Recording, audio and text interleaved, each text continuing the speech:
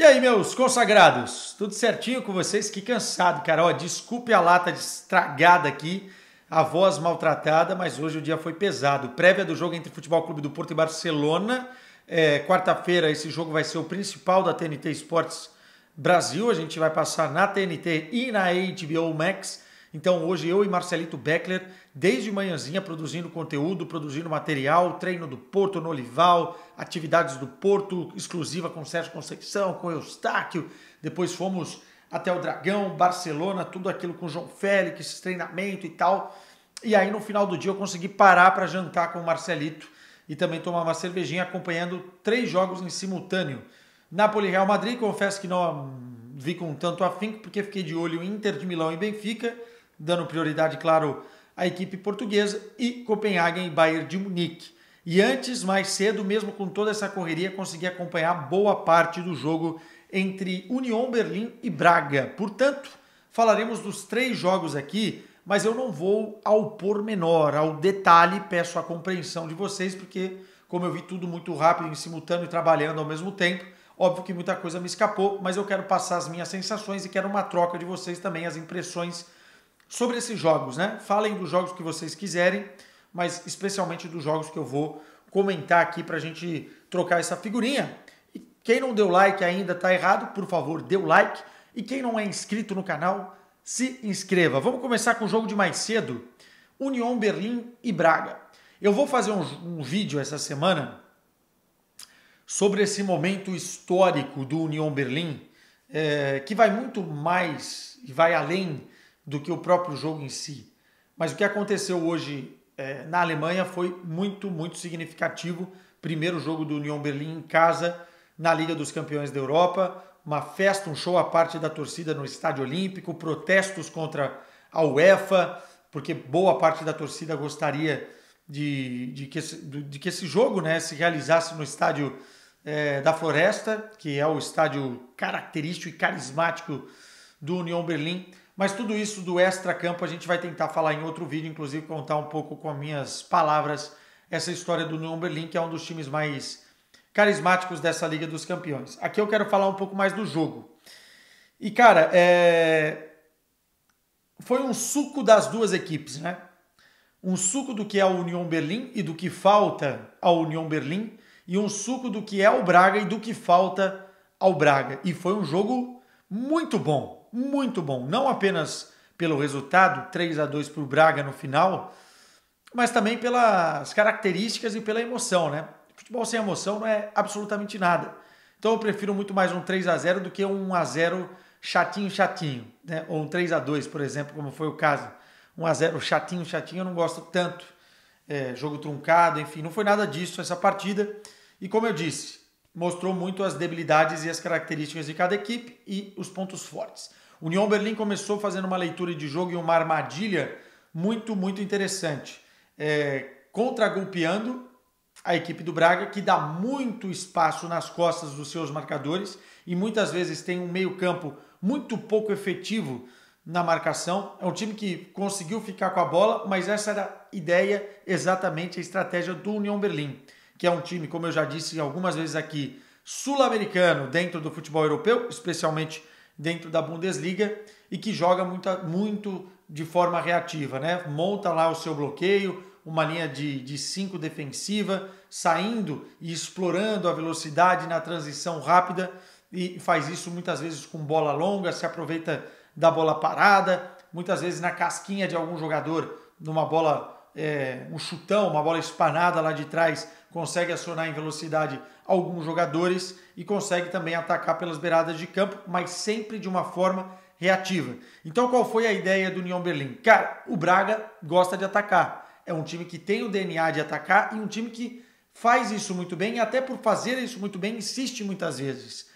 E o União Berlim esperou o Braga tentar construir, tentar criar volume de jogo e explorou o que o Braga tem de pior, que é esse espaço todo que deixa na defesa. O Braga é um time que marca muito, muito mal. Muito mal. A gente já vinha falando aqui várias vezes, nos playoffs contra o Panathinaikos isso ficou evidente no segundo jogo, o Braga sofreu e o Braga sofre muitos gols desde o início dessa temporada.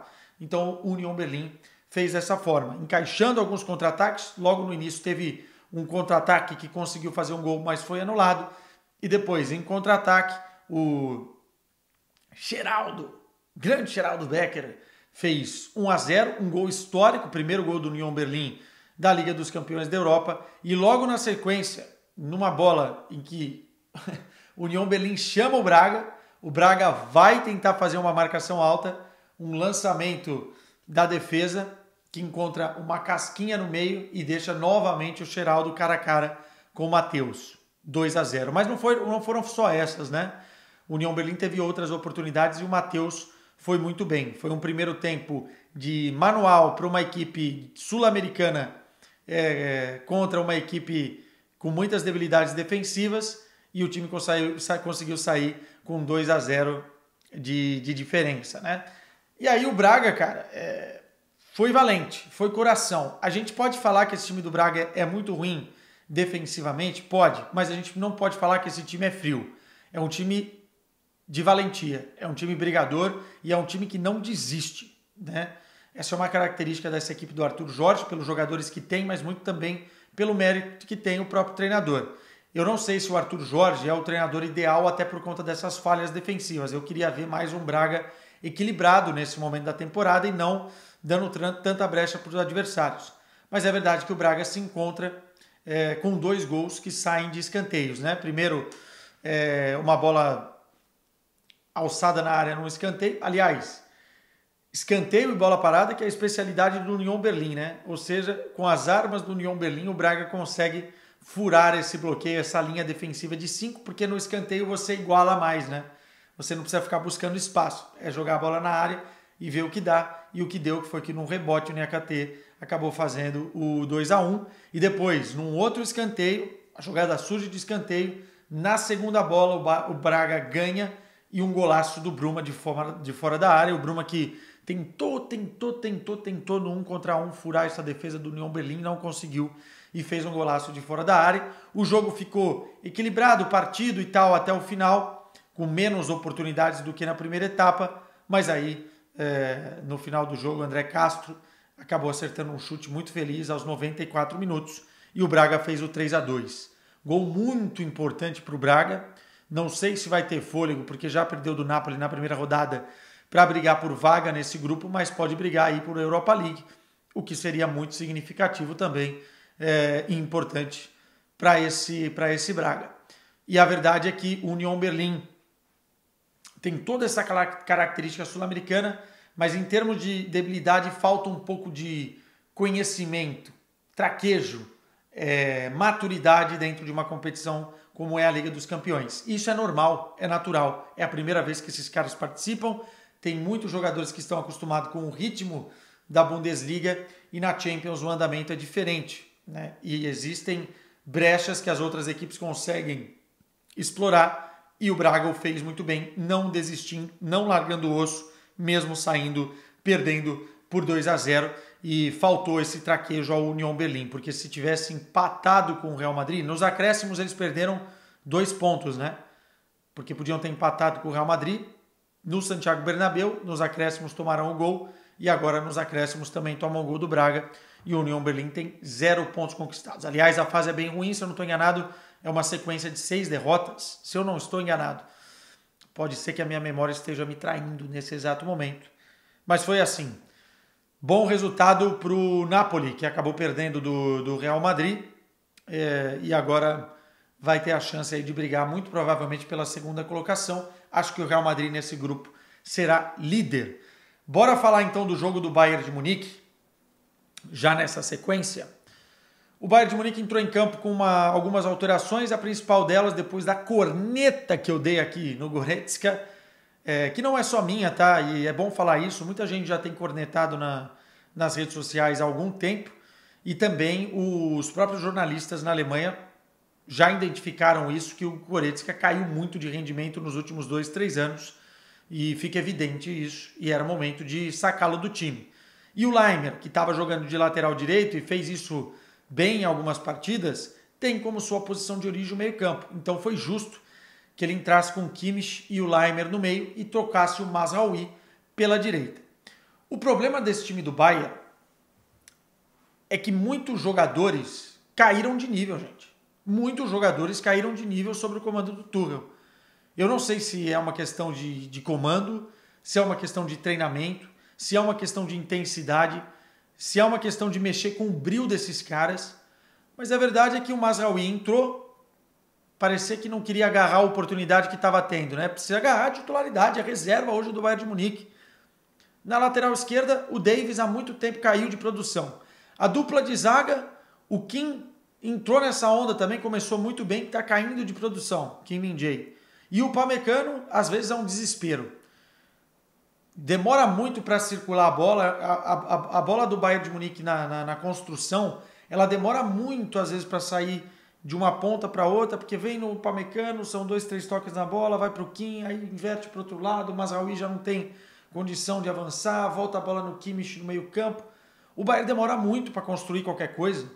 Parece que os caras não, não conseguem quebrar mais as linhas. E qualidade para isso tem tanto na, nos flancos, né, explorando as pontas laterais, quanto no meio-campo deveria ter. O que o Bayern não tem é um meio-campo defensivo para dar o equilíbrio e liberar um pouquinho mais o Kimmich para ser o, o homem, às vezes, de enfiar uma bola, de dar um passe vertical, de pensar mais o jogo. Então o Kimmich fica ali no meio-campo, muitas vezes perdido, tendo que fazer várias funções, com o Goretzka ainda mais e com o Leimer, que também não foi tão bem.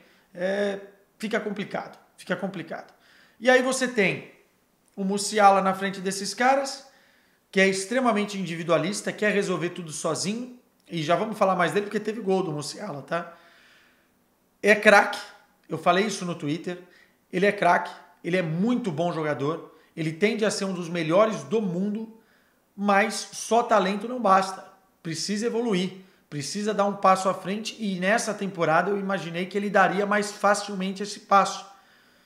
O Musiala está prendendo muito a bola quando não tem que prender, não arma o time, não dá opção de passe para ser esse articulador no meio que o Bayern tanto precisa, não dá munição para o Harry Kane. O Harry Kane, cara, é muito fácil hoje para uma equipe com as características que o Copenhagen tem, baixou as linhas, fez lá duas linhas de quatro, às vezes hora também uma linha de cinco ali, você anular o Harry Kane, você encaixota e o Bayern não consegue achar a linha de passe para esse jogador. O Copenhagen estudou muito bem alguns jogos da Bundesliga, né? E eu gosto também de dar mérito ao adversário. Eu acho que o Copenhagen é uma equipe até cascuda jogando dentro de casa e lutou bastante hoje para conseguir impedir que o volume de posse de bola, que uma hora era de 80% do Bayern e 20% do Copenhague, se refletisse no último terço de campo como oportunidades. Copenhague conseguiu travar o Bayern de Munique é, e fez isso tendo algumas saídas e algumas possibilidades, tanto que faz o, o primeiro gol. Mas só terminando a minha corneta com relação a alguns jogadores, o Coman bem, voltou bem abaixo da lesão, sempre tentando uma jogada em um contra um, com muito pouca efetividade, não chega na linha de fundo. Enfim, tá longe de ser o melhor Coman, precisa evoluir. O Sané é o melhor jogador do Bayern, mas sozinho o Mandorinha não faz verão. Ele está sempre buscando a bola, está sempre tentando pifar os companheiros, está sempre mais ligado que todo mundo. Mas até por isso, por ter que se deslocar muito da sua função, de, de, de, ter que buscar jogo toda hora, não consegue ter uma consistência até o final da partida, teve que inclusive ser substituído. E como eu disse, o Harry Kane, no jogo que ele não consegue conectar com o time saindo da área, porque ele guarda a posição para brigar com os zagueiros, ele é muito pouco municiado e morre de fome. Então o Bayern de Munique tem esse problema, uma queda individual e uma pouca eficácia em criar situações no último terço de campo. Fica muito com a bola e não conclui. Quando você não conclui, na Liga dos Campeões você sofre. É, e a gente viu o Bayern nos últimos anos sofrer dessa forma, com o Villarreal, com outras equipes. Tem a bola e não consegue é, criar grandes oportunidades. O Copenhague fez 1 a 0 com mérito, tá? E com um erro defensivo grande. Falta meio-campo, falta um volante, falta o número 5 ou 6, como eles dizem aqui na Europa. Não sei se esse cara vai ser o Palinha no meio da temporada, mas falta, precisa. Vai precisar contratar urgente. O Delite está machucado, mas quando voltar para mim vai ser titular. E o Pamecano e o Kim Min-jae muitas vezes parece que estão no mundo da lua ali. Não está funcionando. Não está funcionando. E com tudo isso acontecendo, o Bayern de Munique toma um gol. É, e aí tem que correr atrás novamente do resultado. E vai ter dia, tá? Que não vai conseguir. O Musiala, numa espécie de jogada genial, como craque que ele é no individualismo, consegue acertar uma e faz um golaço. Faz um golaço. O Tuchel começa a mexer na equipe e coloca Thomas Müller, Matistel e o Goretzka. Goretzka perde um gol de cabeça incrível, mas enfim, não é um jogador que eu mesmo com a crítica toda que eu fiz na, no, no, último vídeo e nessa temporada eu sustento o que eu falei, não é um jogador que você vai embrulhar e jogar fora, né? Ainda pode ser útil ao plantel caso recupere o bom futebol. Né? A gente não pode queimar o cara. E depois o Thomas Müller com o Matistel, os dois entrando, realmente deu um novo fôlego no Bayern. Quem diz que o Müller está acabado, que já foi a melhor fase, eu até acho que a melhor fase realmente é difícil voltar pela idade que tem, tá com 34, né? Mas é um jogadoraço, jogadoraço. Mudou totalmente as dinâmicas ofensivas do Bayern, é, dando mais linha de passe, dando mais opção, conseguindo concatenar as ideias, conseguindo brigar no corpo com os jogadores, com os zagueiros, trocando de posição com o Harry Kane, o que confunde muito a marcação adversária e, e até por isso o segundo gol foi, pô, foi metade gol do, do, do, do, do Miller. A jogada foi muito boa, né? Uma casquinha do Harry Kane, que ele é importante quando sai da área para fazer isso. Acha o Müller entre os zagueiros, ele sai muito bem em velocidade, tem que ganhar no corpo da defesa do Copenhagen e depois não é fominha, não conclui. Acha o Theo que faz o 2 a 1. O Theo Matistel, com 19 anos, hoje já merece oportunidades como titular no Bayern. Em que posição, Quesada? Ponto esquerdo. Dá para jogar no lugar do Coman, dá para jogar no lugar do, do Gnabry que está machucado. Eu acho que ele já começa a pedir passagem. É um jogador muito voluntarioso, finaliza muito bem, está no lugar certo na hora certa e é muito bom no um contra um também. E tá ligado, tá com fome. Falta fome pro Bayern de Munique às vezes, cara. E o Matistel tá com essa fome. E o 2 a 1 acabou saindo melhor do que, do que o jogo. O Bayern vai passar de fase e muito provavelmente vai passar em primeiro, independentemente das dificuldades que tenha na fase de grupos, porque eu acho que o Manchester United está perdido na temporada e o Galatasaray pode ser que complique alguma coisa fora de casa, mas não acredito que dê tanta luta assim no na Allianz Arena. Agora, o que, o que importa não é agora, né? O que importa é não deixar escapar a liderança lá na Bundesliga e depois a segunda metade da temporada da Champions, né? Oitavas de final, quartas de final. Se continuar essa moleza toda, esses problemas todos que eu estou falando, a gente vai ver o Bayern, infelizmente, cair de novo nas quartas. É, e se não complicar a vida nas oitavas. Portanto, precisa acordar. Vamos passar para o. E quero comentários da torcida do Bayern aí, o que vocês estão achando. Vamos passar para o Inter de Milão e Benfica. Benfica entrou com uma escalação diferente. O time da Inter de Milão é muito bom, é melhor do que o time da, da temporada passada. O Thuram agregou demais. A equipe ataca muito bem de diversas formas, pelos flancos, pelo meio. O Lautaro está muito conectado, mais esperto nessa temporada do que estava na temporada passada. Então virou um time muito perigoso. E não descarto que a Inter de Milão realmente possa ir um pouquinho mais longe nessa Champions novamente, porque o Inzaghi tem essa equipe na mão e é uma equipe que está dando muito, muito que, o que falar e o que admirar. É um time que joga bem, cara. É um time muito bom. E não é à toa que está fazendo esse início de campeonato italiano que está fazendo e também esses jogos de Liga dos Campeões. O Benfica entrou de uma forma diferente. Sem centroavante, com o David Neres de titular, Rafa Silva, David Neres mais centralizado, invertiam posições, é verdade, o Wasner também chegava por ali, e do outro lado de Maria, sem centroavante. No meio-campo, construção com Cox e João Neves, e o Bernat fez sua estreia na lateral esquerda.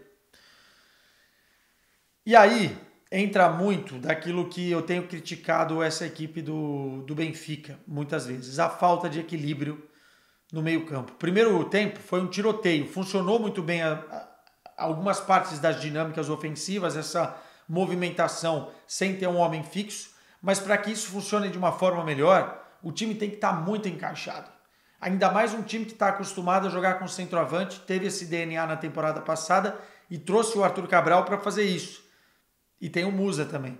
Quando você deixa esses dois caras no banco de reservas e entra como entrou, é que alguma coisa está errada. Realmente os centroavantes do Benfica não devem estar tá rendendo no treinamento, não devem estar tá passando a confiança. Porque o time do Benfica é um time para ter centroavantes, ou como eles dizem aqui em Portugal, ponta de lança. Então é estranho que você tenha dois caras desses no banco e num jogo como esse, que é para você brigar com a defesa da Inter de Milão, é um time muito forte defensivamente, uma zaga muito alta, imponente, você tem um, um ataque muito móvel. E quando você não treina isso, ou esse time não está tão encaixado para isso, você tende a perder essa mobilidade diluída entre a marcação. No primeiro tempo, até o Benfica conseguiu criar algumas oportunidades. Para mim, tem um pênalti no David Neres. Eu não lembro o jogador que era da Inter de Milão, vou me fugir o nome agora. Mas ele dá uma porrada numa dividida na perna direita do David Neres, não alcança a bola. E para mim, ali eu acho que é pênalti, o que talvez não mudaria muito o que foi o contexto do jogo, especialmente pela segunda etapa, e nós já vamos chegar lá. Mas a Inter de Milão teve boas oportunidades também, o Trubin foi bem no primeiro tempo e foi um pouquinho mais partido ou repartido esta primeira etapa. Mas mesmo assim, o Benfica bem desequilibrado, tá? Bem desequilibrado defensivamente. E aí tem a ver com a não escolha de um jogador como Florentino no meio-campo. Eu gosto do Coxo, gosto muito do João Neves mas sem um cara mais equilibrador no meio-campo, vai sofrer. Toda vez que pegar uma equipe com mais andamento, com mais time, com mais ideias e com mais recursos, vai sofrer. Vai sofrer porque você tem dois laterais ofensivos. O Bá saiu machucado na segunda etapa, mas nessa ideia de jogo você vai tomar sempre bola é, no, no, costado do, do, dos laterais vai perder o meio-campo, porque são dois caras pouco combativos, às vezes, no meio combativos no meio-campo, e não tem um ponto de referência nessa combatividade que é o, o Florentino. Então eu não consigo entender. É, e esse desequilíbrio se viu na primeira etapa, mas o Benfica até conseguiu agredir e a coisa ficou mais repartida. E no segundo tempo, cara, no segundo tempo foi um foi um, um massacre, foi um atropelamento. A Inter de Milão criou para golear o Benfica na segunda etapa, cara. Aproveitando exatamente esses desequilíbrios no, do, do primeiro tempo, o Inzaghi mexeu em algumas peças, em algumas posturas e algumas variações dentro de campo e abafou o Benfica. Jogou no último terço de campo muitas vezes do Benfica. Várias oportunidades, bola na trave, o Trubin fazendo milagres e o Benfica não se encontrando, não conseguindo dar andamento, pouco o ataque móvel conseguia bater lá na frente com, com efetividade, não conseguia jogar nas costas dos jogadores da Inter de Milão e foi um atropelamento.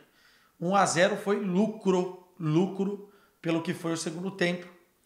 Uh, no finalzinho ali poderia ter, ter empatado num, numa bobeira da Inter de Milão, a coisa poderia ter sido diferente, porque quem não mata acaba permitindo que o outro renasça, mas eu acho que foi até bom 1 a 0, viu?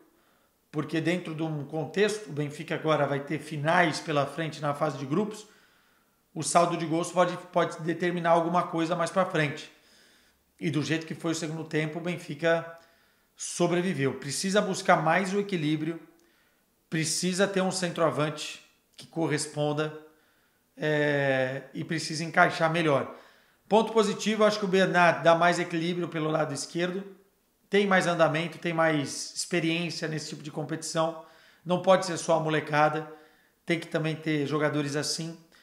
E vamos ver se ele consegue jogar mais vezes e dar mais esse equilíbrio. Mas não é só pela lateral esquerda. Tem que ter um jogador no meio-campo que faça isso. Para mim, o Tino tem que ser titular, o Florentino tem que ser titular desse time em jogos assim jogos assim. É... E fica a nota da centroavança. Preocupante para o Benfica, né? Preocupante, porque nenhum dos dois está dando garantias então em treinamentos, nem o Musa e nem o Arthur Cabral. Para o Campeonato Português é uma outra história, tá? É outra competição. Agora, nós estamos aqui falando de possibilidades em Champions. O grupo ficou extremamente difícil. Um grupo em que o Benfica, na teoria, iria brigar até pela primeira posição com a Inter de Milão. Perdeu o primeiro jogo para o Salzburg, a Real Sociedade fez o que fez até aqui e a Inter de Milão me parece que vai ser líder desse grupo com uma certa facilidade pelo que está jogando. Então o Benfica vai ter que correr atrás e os dois jogos com a Real Sociedade agora são duas verdadeiras finais. Meus caros, minha voz está indo, hein? Vou descansar porque amanhã tem Porto e Barcelona e vai ter vídeo nesse canal aqui falando disso. Além do prometido, falaremos do União Berlim como uma história mágica que surge nessa Liga dos Campeões e traz um pouco daquele futebol raiz que a gente gosta tanto. Tá? Um beijo para vocês e eu quero os comentários para saber se vocês concordam, discordam de mim. Me cornetem, que depois eu corneto vocês de volta. Tchau.